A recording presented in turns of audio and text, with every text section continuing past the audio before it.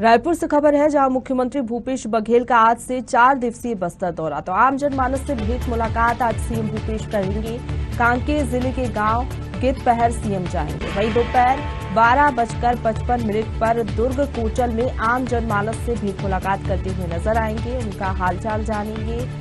योजनाओं का फीडबैक लेते हुए नज़र आएँगे। इसके साथ ही दोपहर तीन बजकर 25 मिनट पर भानवेड़ा में मुख्यमंत्री भूपेश बघेल भेंट मुलाकात करते हुए नज़र आएँगे उसके बाद भान प्रतापपुर में लगभग चार बजकर पचास मिनट पर जनप्रतिनिधियों से भी मुलाकात करेंगे, यानी कि जनप्रतिनिधियों से चर्चा करेंगे कि जो तमाम योजनाएँ चलाई जा रही हैं, वो किस तरीके से चलाई जा रही हैं, फीडबैक और समीक्षा भी वो करते हुए नज़र आएँगे।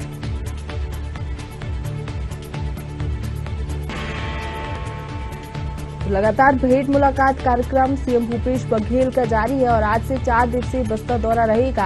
प्रदेश व्यापी दौरे के दूसरे चरण में आज बस्तर दौरे पर वो रहेंगे। चार दिवसीय बस्तर दौरा रहने वाला है।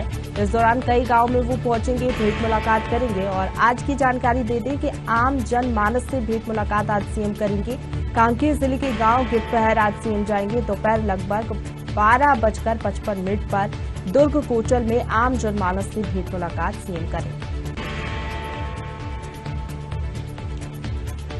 तो भेंट मुलाकात के दौरान सीएम लोगों की समस्याएँ सुनेंगी और जैसा कि हमने पहले देखा तो त्वरित निराकरण भी समस्याओं का किया गया। कई घोषणाएँ, कई ऐलान भी सीएम ने इस दौरान किए। जिस गाँव में भी वो पहुँचे, लोगों की समस्याएँ सुनी और साथ ही साथ सौगात की बौछार भी सीएम ने दी है। आज भी चार दिवसीय बस्तर के दौरे पर वो रहने वाले आम जनमानस से भेंट मुलाकात वो करेंगे और कांकेर ज़िले के गाँव गिरफ़्तार सीएम जाएँगे